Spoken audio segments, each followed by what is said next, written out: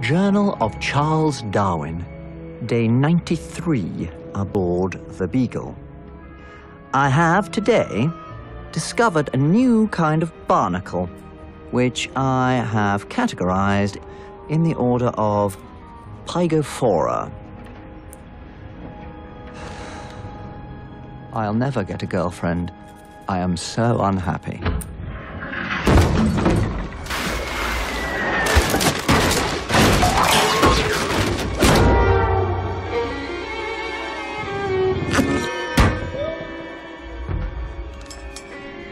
And now I'm being attacked by pirates.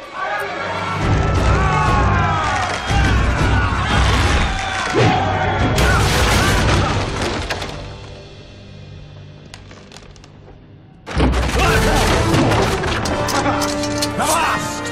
I'm the pirate captain, and I'm here for your gold. Um, I, I, I haven't got any gold. No gold, eh? Then what, might I ask, is this? It's a baboon's kidney. Is it? Oh. And what about this? Uh, it's, it's another baboon's kidney. Nah.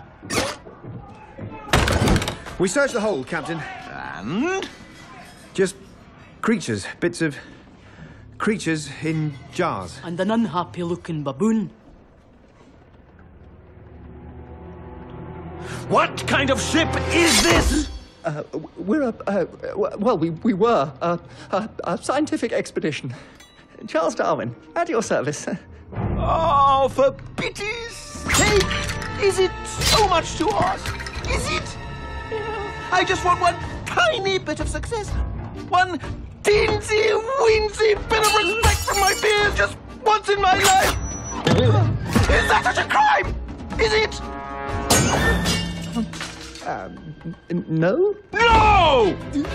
No. Oh, but you try telling that to the universe. Just once. Just once for things to go right. Just, just once. So, um, uh, are, are, are we done here?